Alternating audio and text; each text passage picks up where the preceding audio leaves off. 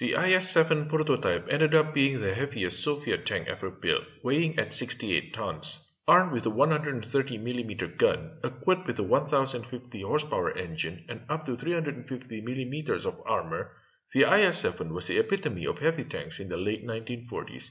Yet few know about its development history. As early as 1943, plans began to replace the IS-2. This would lead to the design of the Object 262 and 263 by Factory Number 100. However, these were failures. By the end of World War II, the MAUS Super Heavy tank was discovered, which triggered further heavier tank developments. The first was the Object 257, also the first tank to be named IS-7.